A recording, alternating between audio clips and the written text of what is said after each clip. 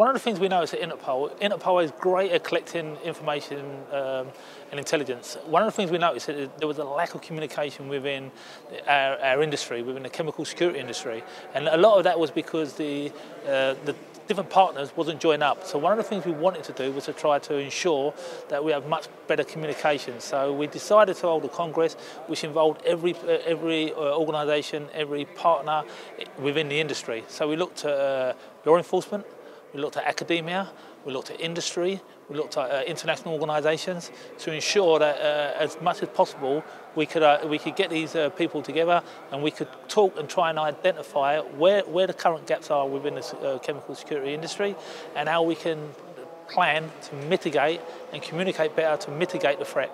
This Congress has been a massive success. One of the highlights has been the number of different uh, people that's attended from different agencies.